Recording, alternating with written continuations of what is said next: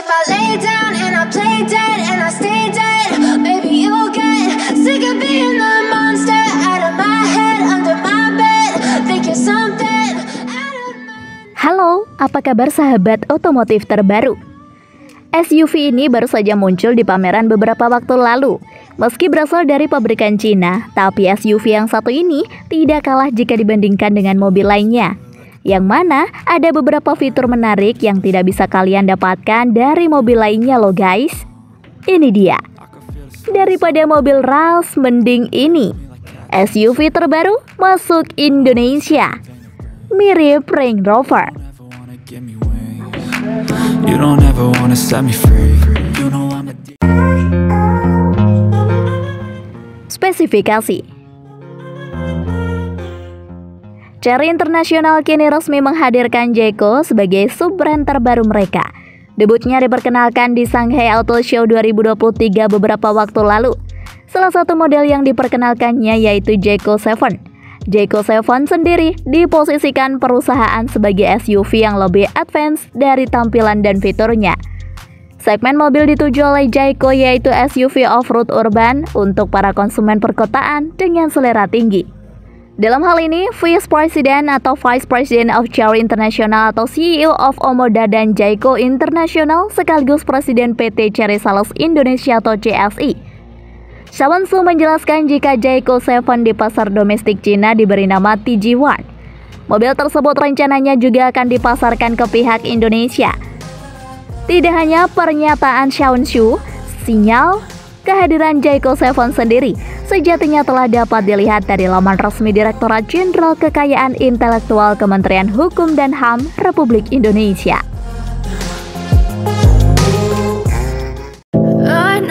Eksterior. Dimulai dari bagian sektor tampilan lebih dulu, Jayco 7 kini telah hadir dengan DNA SUV yang tangguh. Siluet badannya sengaja mengusung visual mengkotak.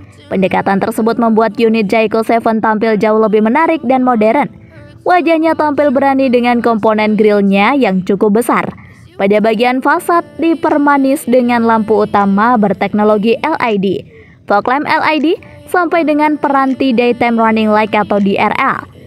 Geser ke bagian samping, aura SUV semakin kental berkat adanya penggunaan komponen over fender, roof rail, pelek yang cukup lebar dan peranti seat skirt.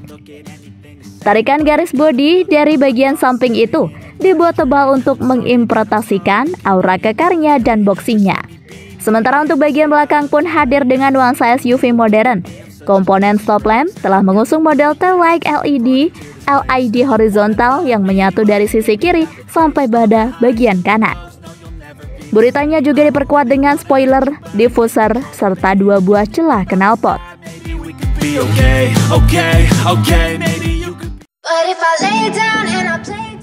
Interior Sektor interior juga jadi nilai jual yang ditawarkan oleh Jayco 7. Ketika saya masuk ke dalam kabin, nuansanya mewah dengan perpaduan unsur sporty. Hampir seluruh bagian sudah dilapisi dengan bahan soft touch, baik di dashboard hingga seluruh door trim. Panel infotainment sekaligus pengaturan seluruh fitur menggunakan layar yang besar vertikal di bagian tengahnya. Kualitas gambar sangat baik dengan sensitivitas sentuh yang juga akurat. Peranti ini mengusung chipset Qualcomm yang membuatnya bisa melakukan update otak. Lingkar kemudi alias setirnya pakai model flat bottom berlapis kulit dengan tombol pengaturan lengkap di sisi kiri dan kanan. Sementara untuk panel meter MID menggunakan desain persegi panjang yang juga menampilkan kesan tiga dimensi. Got issues in my head. I like you in my bed, but you keep me on red. Oh, everything is like a test. I better. Desain Layout dashboard yang hadir pada Jayco 7 bisa kami bilang menarik. Dia mengusung desain dua layer dengan pemanis aksen yang variatif. Konsol tengahnya memiliki beberapa fungsi, di situ juga jadi lokasi penempatan tuas transmisi berbentuk futuristiknya. Jayco 7 hadir sebagai pilihan SUV 5 penumpang. Seluruh jok sudah dibekali dengan komponen headrest masing-masing.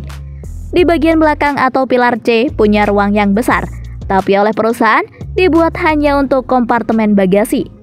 Saat ini atau di tahap awal peluncurannya, Jayco 7 hadir dengan satu pilihan engine saja. Namun, kabarnya pada tahun depan, SUV ini juga akan kebagian opsi plug-in hybrid electric vehicle atau PHEV dan disusul pilihan baterai electric vehicle atau BEV pada 2025.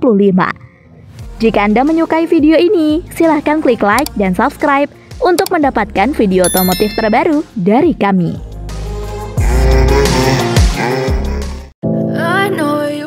Dapur Pacu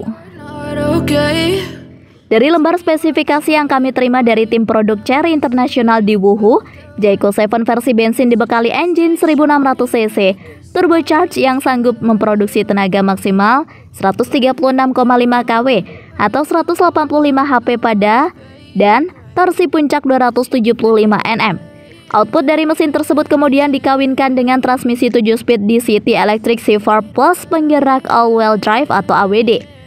Dengan rancang ini, Jayco 7 diklaim memiliki kecepatan puncak hingga 210 km per jam dan konsumsi BBM di 7.1 liter per 100 km atau setara 14,2 km per liter.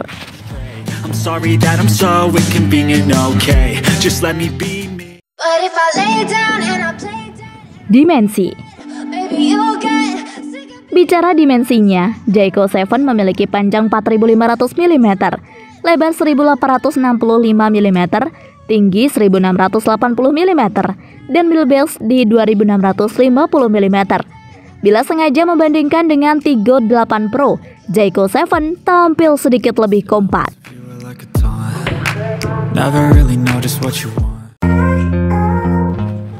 Kelengkapan fitur Mobil ini dilengkapi dengan 7 driving mode sekaligus, yakni Mode, Sand, Snow, Off-Road, Eco, Normal, dan Sport. Sementara untuk sisi keamanan, mobil Jayco 7 berbekal dengan ADAS lebih dari 20 fungsi, 10 buah airbags, dan kamera 540 derajat. Berikut adalah fitur lainnya. Head-up display, Apple CarPlay, wireless charging files 80 watt, heating dan cooling seat, electric adjustable seat, panoramic sunroof, audio by Sony ambient light, self-sensing auto defogging.